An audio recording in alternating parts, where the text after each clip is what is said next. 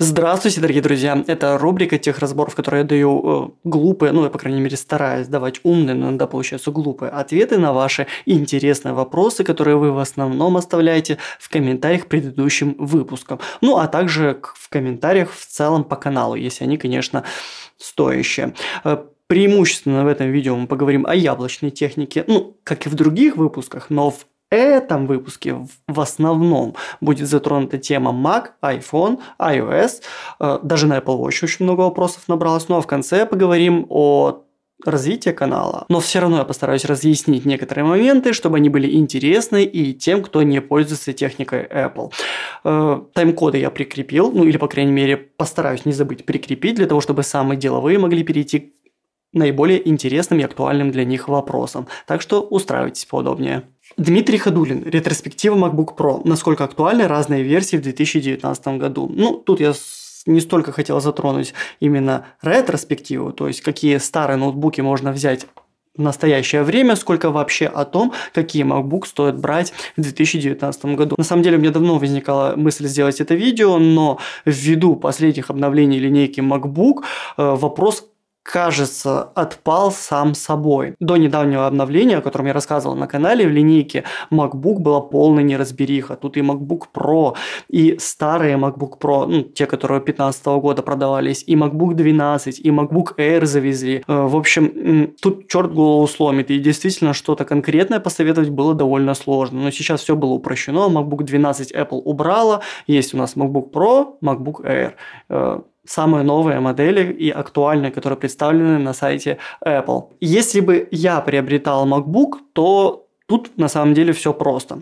Э, есть MacBook Air, это печатная машинка, и стоит брать по моему мнению, только самую актуальную версию 2019 года, которая была недавно представлена, потому как старая версия MacBook Air не оснащалась Retina дисплеем. И, ну, не гоже смотреть вот в пикселе вот такого размера на таком ультрабуке в 2019 году. Это мое личное мнение. Раньше я MacBook Air не рассматривал, потому что не было крутой матрицы и, скажем так, актуальна была только прошка, либо MacBook 12, но ее дисплей я считаю, ну, уж слишком компактным. Вот тринашки еще в принципе хватает, но двенашка это уже как-то маловато. Да, может быть, для авиаперелетов, но это такой вот очень узкая аудитория людей, которая хочет себе приобрести настолько компактный э, нетбук практически, если кто помнит такой сегмент. Если вам не нужна автономная печатная машинка с качественным дисплеем за ну, немаленькую сумму, то нужно брать прошку. Тут по моему мнению, вот если бы я выбирал, все просто. Либо берешь прошку 2015 года, э, потому что это самое актуальное железо в старом Unibody корпусе. Э, желательно с дискретной графикой, то есть это в основном пятнашки. Но, в принципе, MacBook Pro 13 дюймов тоже неплохой вариант. Либо уже брать самый новый MacBook Pro 2019 года, потому что было э, пофиксено, пофиксено ну или пофикшена, как некоторые говорят, большое количество проблем, в частности FlexGate, проблемы с клавиатурой и еще много мелких косяков. Уж э, очень долго Apple дорабатывала эту модель MacBook. Сколько им понадобилось? С 2016 года включительно. Да, это получается дорого, но вы уже получите более свежее поколение процессоров. Почему-то многие учитывают частоту, но не учитывают поколение процессоров, а это очень важно. В общем, MacBook Air, MacBook Pro 2015 года, либо MacBook Pro 2019 года. Ну, в крайнем случае можно посмотреть бэушные варианты 2018 года. Тоже, в принципе, э, было исправлено много, много проблем. Но это, скажем так, переходящий ноутбук э, в модель 2019 года, где было исправлено еще больше немаловажных моментов. А все вот эти очень старые макбуки до 2015 года, ну, это очень персонализированный вариант. То есть каждый подбирает то, зачем ему надо, какое это будет состояние, какая цена. И, ну, это достаточно сложный вопрос для того, чтобы ответить в одном видео. Тут тупо надо сидеть на каком-нибудь, на какой-нибудь барахолке и перебирать те или иные варианты, говорить, да, вот это здорово, да, вот это нет. Но не забывайте, годы идут, и это ноутбуки, которым будет больше пяти лет, и, ну, скажем так, может стоит поискать что-нибудь уже тогда на Windows, да, будет платформа другая, другая, но это будут ноутбуки, которые посовременнее, либо уже смотреть в сегмент планшетов, что ли. Они достаточно производительные и имеют широкий спектр софтверного обеспечения для того, чтобы хорошо работать. Илья Куталев. Вопрос по Маку. С самого начала работы никак не мог понять зен рабочих столов. Переходил с Windows, по-честному пытался использовать. Читал статьи, смотрел видео, но никак не приживается. Неудобно управлять, бесит анимация при постоянном переходе. По-прежнему удобнее на одном рабочем столе. Просто лишь переключаясь между окнами. Есть ли какое-то волшебство в работе с рабочими столами? Ну, в принципе, да, магия есть. Я очень сильно к этому привык. Там же, ну, кстати, будет еще один вопрос по трекпаду в дополнение к этому, с ним еще удобнее управлять рабочими столами. Ну или мышкой Magic Mouse, потому что там есть свайповое управление. Сейчас, в общем, покажу. Так, ну давайте примерно воссоздадим мой рабочий процесс. Мне для работы нужна монтажная система, Допустим, вот я монтирую данный видеоролик. Потом мне нужен браузер, в котором я ищу какую-то дополнительную информацию, также открываю на дополнительный рабочий стол. Мне нужен текстовый редактор, чтобы сделать какие-то пометки. То есть мы его отправляем вместе с Safari. Мне понадобятся заметки для того, чтобы доставать оттуда какие-то файлы и вставлять, э, например, в монтажную систему. И вместо того, чтобы нагромождать огромное количество окон на рабочем столе и переключаться между ними по комбинация Ctrl-Tab, а видите, программ может быть очень много активно запущенных. Я просто расставляю рабочие столы в нужном мне порядке. То есть заметки э, с браузером я ставлю на один рабочий стол, Final Cut монтажка на второй, файлы я вытягиваю с третьего рабочего стола и быстро между ними переключаюсь. Знаю, что в центре у меня всегда это была несанкционированная акция, возвращаем обратно.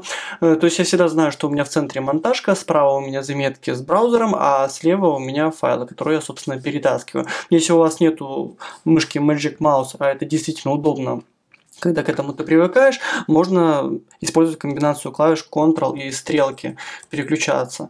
Ну, думаю, чтобы руку вообще не отрывать от рабочего процесса, лучше вообще переназначить эти жесты. Я думаю, это возможно. Или в панели управления, либо при помощи сторонних утилит. Неудобная комбинация, то есть в итоге вместо неудобной комбинации Ctrl-Tab, либо постоянного сворачивания, разворачивания окон из дока, лучше просто переключаться между рабочими столами. Да, и вот этот вопрос от Антона. Э, чем удобнее на iMac, мышкой или трекпадом от Apple? Очень сильно зависит, чем вы вообще занимаетесь. По моему мнению, если трекпад на MacBook Pro, особенно э, там, где он очень большой, это нереально удобная вещь, она действительно может заменить мышку, то вот эм, при работе с персональным компьютером, то есть с iMac, либо с Mac Mini с внешним дисплеем, э, Лично у меня довольно сильно устают пальцы, потому что перемещать необходимо курсор по гораздо большей диагонали дисплея соответственно, большим разрешением, и пальцы устают.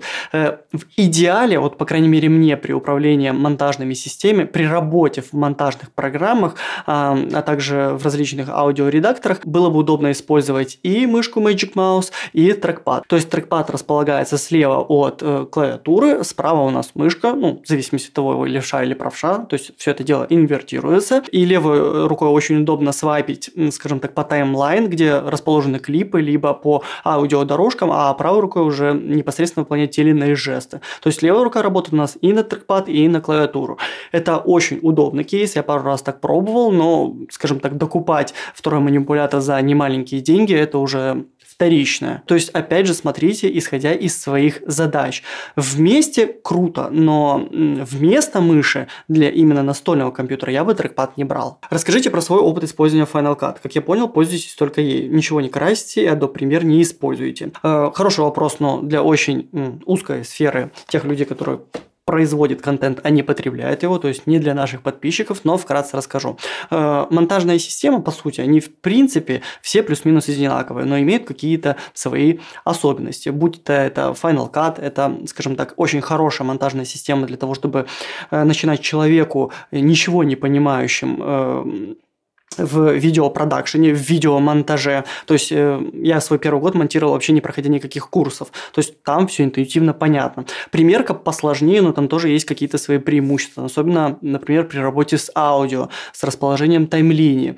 Э, сейчас вот очень активно развивается DaVinci Resolve, потому что раньше это был инструмент сугубо для покраски, сейчас там уже добавили монтажные функции, даже анимацию. Э, а вид это уже для более серьезного видеопроизводства. Но на самом деле тут все зависит от от вашей региональной привязки. Если вы собираетесь работать на заказчика, то смотрите, на чем монтирует ваш рынок региональный. Если это премьер, и зачастую это премьер в Москве, вот иногда все-таки встречается Final Cut, но тоже очень часто премьер, то лучше изучайте эту монтажную систему. А по факту все они плюс-минус одинаковые. Если вы знаете одну монтажную систему, то 70% э, успеха уже у вас есть. Перейти на другую монтаж не составит особого труда. Просто вы будете искать расположение тех или иных инструментов в другом месте. А вообще не смотрите на перспективу, а пользуйтесь тем, что вам удобно в данный момент. То есть ту монтажку, в которой вы за минимальное количество времени выполняете максимальное количество работы. Федор Стариков, ну, надеюсь, я правильно расставляю ударение, если нет, то не обессудьте.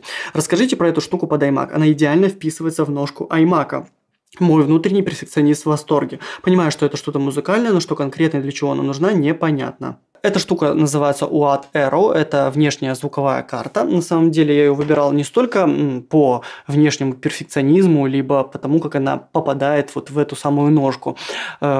Умещается в эту самую ножку. Я ее выбирал э, сугубо по интерфейсу. Мне была необходима внешняя звуковая карта, которая работает с iMac по э, порту Thunderbolt 3. Получается так, что не так уж и много вообще звуковых карт существует на рынке, особенно в низшем ценовом сегменте. Низший ценовой сегмент с Thunderbolt 3 это около 500 долларов. Вот как раз таки эта видеокарта стоит на американском рынке 500 долларов. Но что самое интересное, у нас в России, ну, у нас, точнее, у вас в России ее можно приобрести э, дешевле. Я дал порядка 470 долларов. В чем преимущество помимо Thunderbolt 3 интерфейса? Это хорошее железо, э, преампы и центральный процессор, который снижает нагрузку, ну, в основном берет всю нагрузку, нагрузку по обработке звука на себя, э, особенно когда вы в режиме реального времени модифицируете э, э, звучание через штатный очень крутой софт. Да, многие модули необходимо докупать отдельно, но в целом это очень крутая штука. Э, ну и да, внешний вид, это тоже очень здорово. Плюс она мобильная, ее с собой можно брать легко, удобно, и она не требует э, внешнего питания, то есть подключается и берет питание непосредственно от ноутбуков, ну, либо от компьютера в моем случае. Дальше пошли вопросы по iPhone. Аркадий Павлов. Не в первый раз, по-моему, в нашей рубрике. Вадим, расскажи, как правильно снимать фото и видео на. Ну или как вообще с помощью сторонних камер для iPhone делать топовые фото. На самом деле никакой магии нет. Э, принцип штатного приложения на iPhone заключается в том, чтобы вы достали свой смартфон, Нажали одну кнопку и получили удачный либо не очень удачный снимок. Плюс-минус можно варьировать в зависимости от того, включили функцию Live Photo, когда еще можно подловить удач... более удачный кадр. Если вы хотите получить нечто более интересное, то скачивайте любое стороннее, э, зачастую бесплатное приложение, в котором можно мануально настраивать выдержку, диафрагму и ISO. И, в принципе, на этом и строится весь кадр. То есть абсолютно на любой платформе и на любом смартфоне либо фотоаппарате. А дальше уже идут рядовые будни фотографа. Это устранение гравитационной нестабильности, это выделение сюжетно значимых объектов, это э, приведение изображения к полноконтрастному, это выделение этого самого контраста э, и прочие манипуляции, которые позволяют преобразить картинку. Но самое главное, чтобы у вас была сама эта идея получения интересного изображения. Лепить из говна конфетку – дело неблагодарное, а вот найти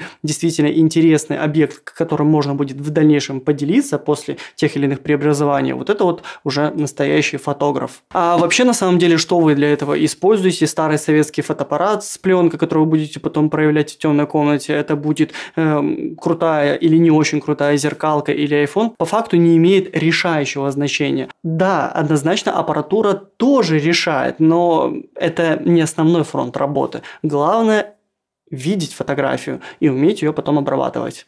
А уже на что вы ее сделаете, ну, важно, но не настолько. Никита очень долго выбирал между iPhone 10 и 10R, но остановился на десятке, потому что нашел новый по очень вкусной цене. Это, кстати, очень важно. А второе, все-таки 3D Touch. Уж очень сильно он к нему привык. Ну, на самом деле, с 3D Touch это уже даже скорее промах. Скорее всего, в будущих поколениях iPhone Apple не будет интегрировать эту эм, технологию, которая не только программная, но и имеет э, физическую сущность виде гномика. И те изменения в iOS 13, которые однозначно не нравятся всем владельцам iPhone, э, говорят об обратном, что 3D Touch будет потихонечку выпиливаться и ставиться на второй план. Да, сейчас он работает, но он работает совместно с Haptic Touch, а это уже чисто программная тема. И она, по крайней мере, мне, как владельцу iPhone 10s Max, да и всем, в принципе, больше мешает, чем помогает.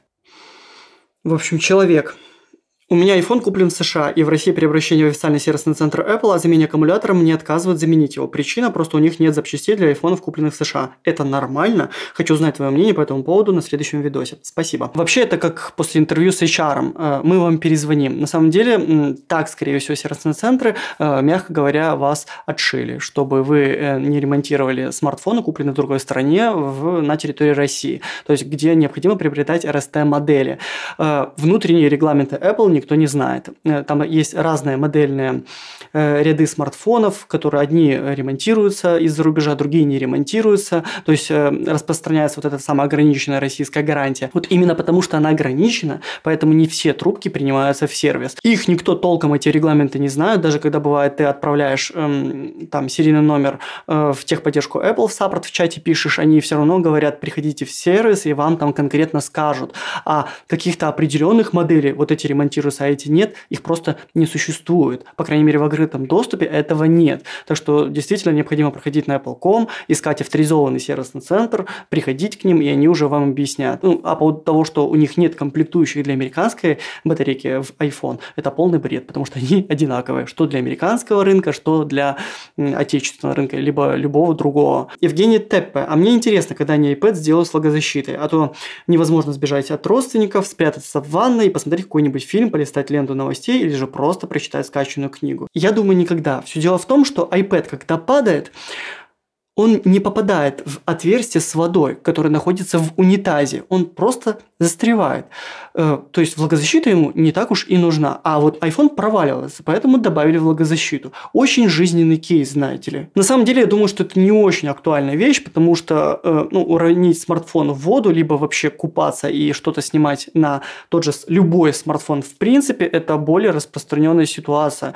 С iPad, ну, такое. Я лично в ванной пользуюсь iPad'ами, ну, просто ставлю дощечку, на нее раскладываю полотенце и ставлю девайс. Но на самом деле это неправильно, потому что э, электроника вам спасибо за это точно не скажет. Влажность в ванной однозначно превышена, так что делайте это все только на свой страх и риск. Ну вон, iPad 2 лежит, надо скоро откатить на iOS 6, до сих пор работает, и сколько я его уже использовал в ванной, не счесть, наверное, разов, но, может быть, мне повезло. Так что, резюмируя ответ на этот вопрос, я считаю, что это не актуально, потому что большинство все-таки людей э, не будут этим пользоваться и заплатят просто за э, технологию, за функцию, э, которой они не будут пользоваться. Игорь Семенов, есть ли возможность отключить экранное время, но при этом не лишиться настроек контента конфиденциальность? К сожалению, нет. Э, увы, Apple посчитала, что необходимо запихнуть этот пункт меню в экранное время, которым далеко не многие пользуются, но это тренд. Меньше проводить со смартфоном, больше с семьей и радоваться, что у вас есть девайс, который не отжирает ваше время. Вот так вот. Для слабохарактерных. Поломарчук. Безопасно использовать старые версии iOS, например, 9 iOS на iPhone 4s, 10 iOS на iPhone 5.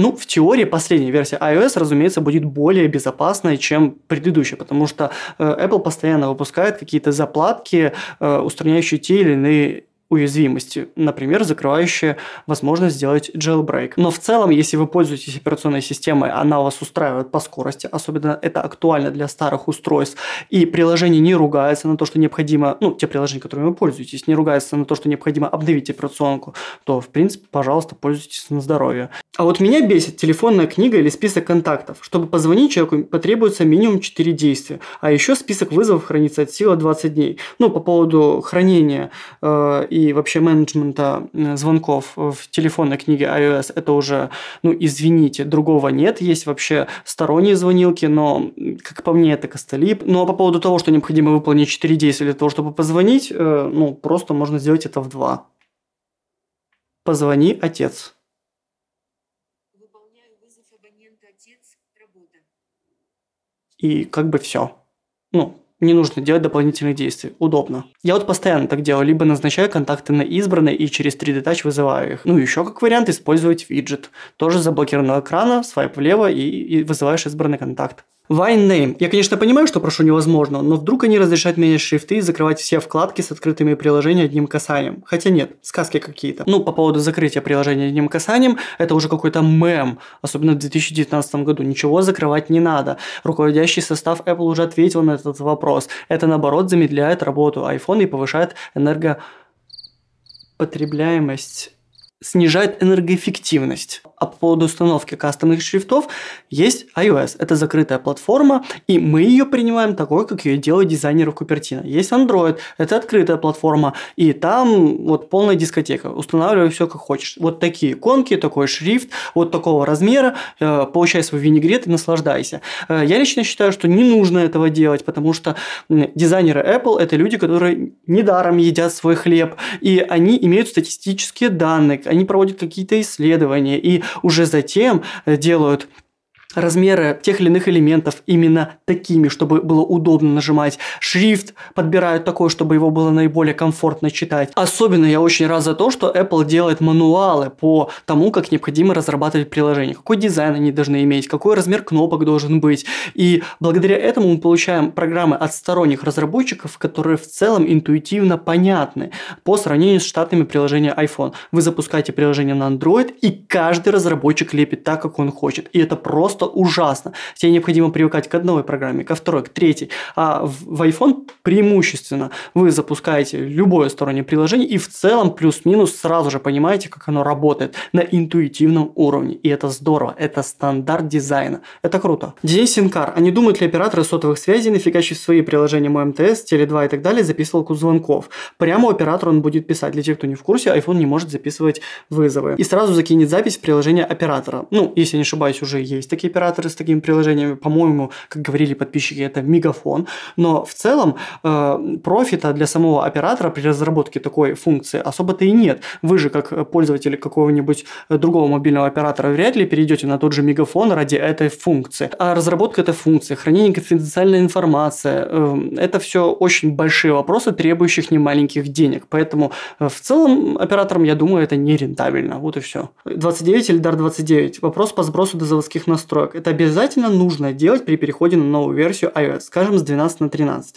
Э, лично я, начиная с iOS 7, забил на первое при обновлении с одного поколения на второе э, сбрасывать как раз-таки э, смартфон полностью и не восстанавливать из резервной копии. Э, второе, на что я забил, это обновление по шнурку. Вот начиная с iOS 7, если я не ошибаюсь, я всегда обновляюсь только по воздуху и ничего не сбрасываю. И смартфон работает отлично. В целом, я только один раз столкнулся с проблемой. Это где-то больше полугода назад, когда Apple Watch, когда сторонние приложения на Apple Watch не запускались. Вот как раз-таки это происходило из-за того, что, наверное, большое количество ошибок насобиралось с того момента, когда я обновлялся по воздуху, что-то восстанавливал, что-то удалял. И только вот полный сброс без восстановления данных из резервной копии мне помог решить эту проблему на Apple Watch. Но это, наверное, единственный случай за такой огромный промежуток времени. А своими случаями каких-то багов, переходящих из-за того, что вы обновлялись по воздуху, либо не сбрасывали устройство при переходе с одного поколения iOS на другое, можете написать в комментариях. Но я думаю, это скорее исключение, какие-то проблемы, чем правило. Поэтому просто обновляйте по воздуху и ничего не сбрасывайте. iPhone это в принципе разрабатывался как устройство, с которым не нужно колдовать, как на андроиде. Алексей Александров, у меня только один вопрос. Как вы терпите, что на iPhone нету по сути файловой системы? Работа с файлами как таковая вырезана. Честно, при переходе на свой первый iPhone 3GS я смотрел на это все дело с открытыми глазами. То есть, ну, мы как привыкли, открыл проводник, язык, выбрал папку видео, запустил видеоролик. А Apple тебя как бы учит, что необходимо сначала запустить приложение, а потом уже в нем выбирать э, тот э, тип файлов, с которым оно работает. И э, по сути разницы-то нету. Ну да, однозначно есть момент, связанный с файл-менеджментом, но в принципе Apple сейчас начал потихоньку подтягиваться и удовлетворять запросы пользователей и владельцев техники Apple с учетом на то, что операционная система все равно остается закрытой, то есть работает по принципу песочницы разница. Именно поэтому она такая и надежная. э, в плане стабильности и э, безопасности по отношению к угрозам извне. Android действительно крут в том плане, когда помимо смартфона с вами больше...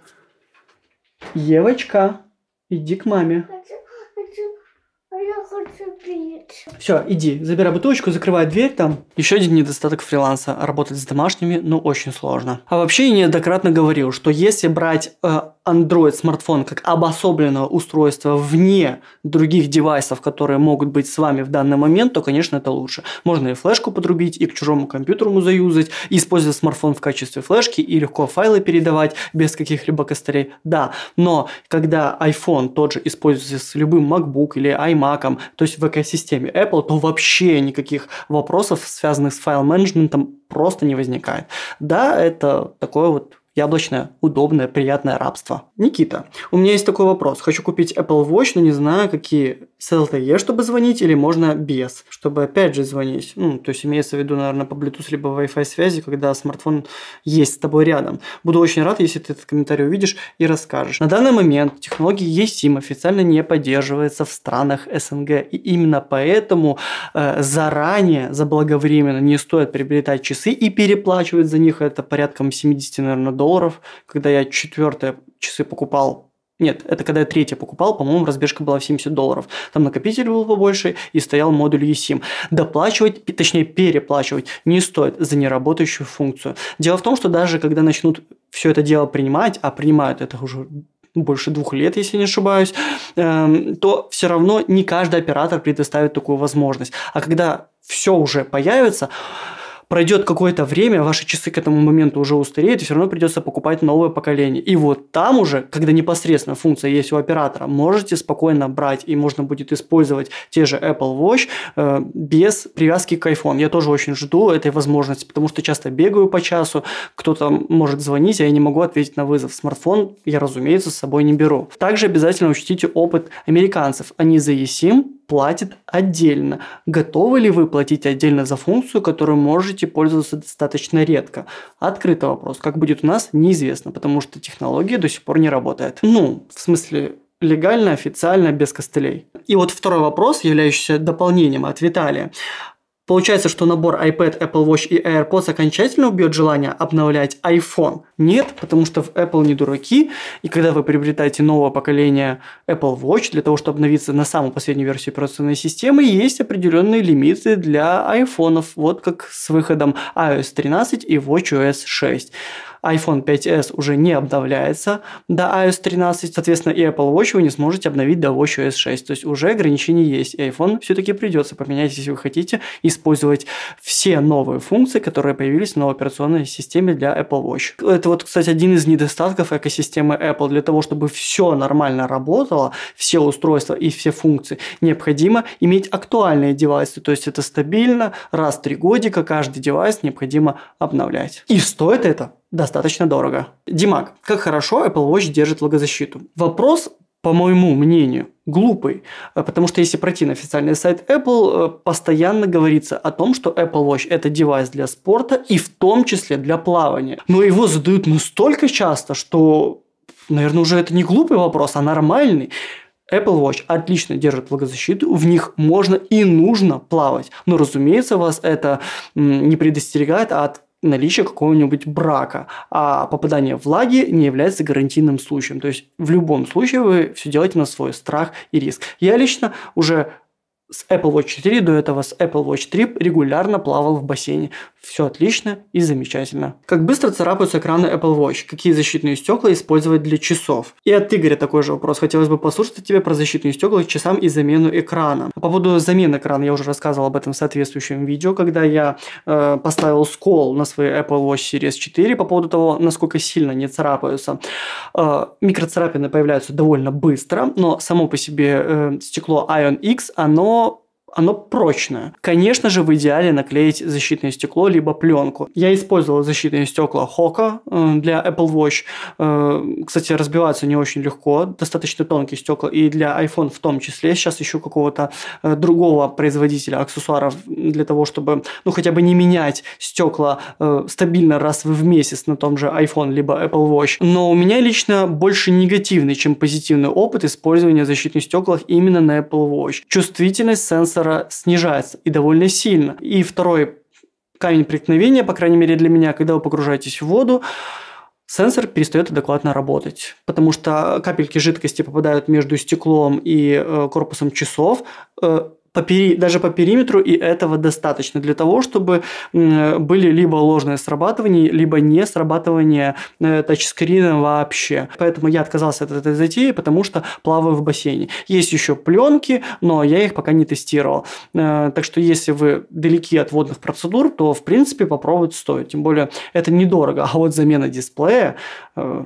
точнее ее невозможность замены отдельно и замена полностью часов в целом, это уже очень дорого. Алекс Т. Вадима, какими стеклами пользуешься ты? Э, в принципе, я уже ответил на этот вопрос. Последние годы я пользуюсь защитными стеклами компании Хока. Не дешевое удовольствие. Порядком 8 долларов для iPhone и, наверное, столько же для Apple Watch. Но уж больно они хрупкие. И ну, менять стекло раз в месяц э, за год не маленькая сумма получается. Так что надо искать какие-то альтернативы. Можете предложить в комментариях к этому видео. Дмитрий Кожев. Доброго времени суток. Интересует следующее. Собираюсь покупать смарт-часы. Что объективно лучше? Часы от Apple или Samsung, если абстрагироваться от экосистемы. Заранее спасибо. Тут вообще глупо абстрагироваться от экосистемы, просто потому что нет ничего лучше, чем Apple Watch для iPhone. И они предлагают вот именно по части софта э, самый лучший спектр функций. Э, Gears тоже классные часы, но уже с некоторыми ограничениями. Вообще в идеале поюзать и то, и другое. Или просто посмотреть видеоролик на канале, где я рассказывал, какие функции будут работать с iPhone, э, а какие не будут работать. Обязательно посмотрите. И если вас в принципе не устраивает дизайн Apple Watch, а это немалое количество людей, кто-то хочет более классический и надежный вариант, а э, Gears или Galaxy Watch это действительно э, более надежные часы э, в плане внешних повреждений вот, так что Тут уже и определитесь. Друзья, расскажите, какими приложениями пользуетесь, чтобы увидеть заряд iPhone на Apple Watch. Прям очень нужно. Специально ради этого погуглил. Многие варианты были почему-то платными, но нашлось одно приложение, бесплатное абсолютно, которое называется Battery Life. Очень, кстати, много платных вариантов, но эта штука абсолютно бесплатная, есть баннерная реклама, но по факту мы не будем запускать мобильное приложение. На Apple Watch включаем программу, и обратите внимание, посмотреть заряд на Apple Watch нельзя, потому что функцию необходимо купить. Но зачем, если заряд можно посмотреть и так из панели управления? А поэтому нажимаем просто iPhone и оставшийся процент заряда 74. Программа называется Battery Life. Так, и вопросы общего характера. Ждем обзор на OnePlus 7 Pro и стоит ли ждать обзор на линейку Pixel. Я с удовольствием сделал бы обзор на устройства этих брендов, потому что, ну, как бы все гиг-сообщество пищит от них, но на данный момент нет возможности их достать. Достать стоят они недешево, э, ликвидность их на вторичке, по крайней мере, у нас в Беларуси очень низко, и продать эти девайсы будет довольно сложно.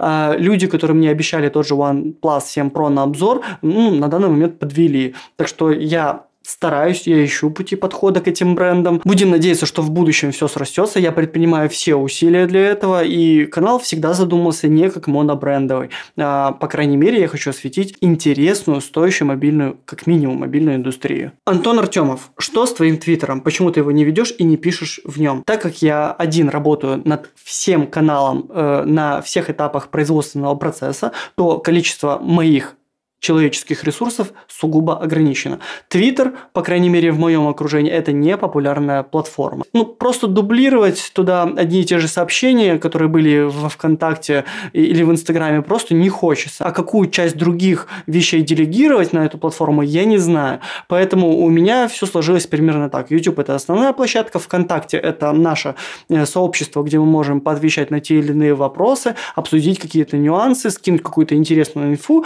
а Инстаграм Телеграм – это место, где я тизерю о грядущих роликах, где вы можете задать интересующие вас вопросы. Вот пока работаю в этом формате и считаю его наиболее продуктивным. А завести аккаунт менеджера чисто для Твиттера или э, того же Телеграма у меня нет ни физической, ни материальной возможности. Владимир перешел с Things на Wunderlist или Wanderlist. Это менеджер задач, без которого я не могу жить. И да, я пользовался раньше Things 3. Это реально крутой продукт, но доступен он только для владельцев техники Apple. А Wunderlist, Wanderlist – это кроссплатформенное решение. Его можно использовать на Android. А так как в последнее время наш канал освещает и эту тематику Android, а я не могу взять девайс на обзор и не пользоваться им в качестве основного, мне нужен менеджер задач и на нем. А соответственно, чтобы все заметки синхронизировались, и я всегда знал, что мне нужно делать дальше. В принципе, утилита достаточно годная, имеет как свои преимущества, так и недостатки по сравнению с Inks 3. Привык, сейчас, в принципе, кайфую. Да и бесплатно по крайней мере, бесплатных его возможностей мне лично хватает. Андрей, некоторые говорят, что при Джобсе было лучше. У меня возник вопрос, а что было лучше? Цены не такие космические, так тогда рубль был выше. Ну, сейчас уже не так уж и часто об этом говорят, видимо, уже Джобса начинают забывать.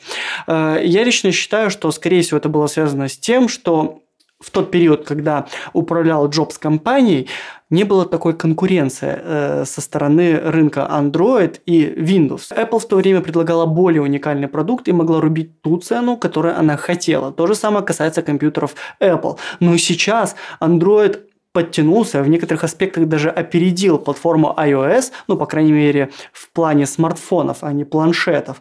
Э, то же самое касается и Windows. Windows сейчас действительно хорош, и э, он перенял огромное количество э, функций, которые были доступны раньше эксклюзивно только на macOS. Вот, наверное, только поэтому раньше было лучше, ввиду того, что конкуренция была не настолько сильная. Рафаэль Сабитов. Вадим, не могли бы вы поделиться своим плейлистом? Уж очень крутые треки вижу в видео. И как вы относитесь к группе System of Down? Конкретно эту группу я практически не слушаю.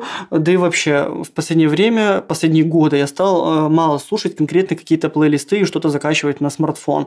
Просто потому что э, приходится целый день работать в наушниках, э, работать со звуком, делать какой-то там саунд-дизайн, обрабатывать звук, собирать собирать видеоролики и просто устаешь и хочется послушать тишину. А в машине, либо когда убираешь квартиру, э, я не любитель того, чтобы слушать одно и то же. Мне проще запустить, э, там, я слушаю рок, запустить э, Яндекс Музыку, выбрать э радио рок, все на бесплатной основе, то есть без покупки какой-либо подписки и просто в случайном режиме включить. Попадаются те группы, которые мне нравятся, здорово. Э, попадаются новые группы, лайкнул, потом загуглил, э, начал больше интересоваться музыкой. То есть это какие-то свежие группы. Мне понравилось, пропустил, да и все. Тем более там с AirPods, с Apple сделать это очень просто, когда ты занят чем-то другим. Так что музыку практически не слушаю, а когда слушаю, то в основном это что-то рандомное в определенном жанре рок, допустим. Как человек интересуется, буду ли я делать подкасты. Сами сами по себе подкасты в том же iTunes, это преимущественно платформа, ну или э, на Гугле,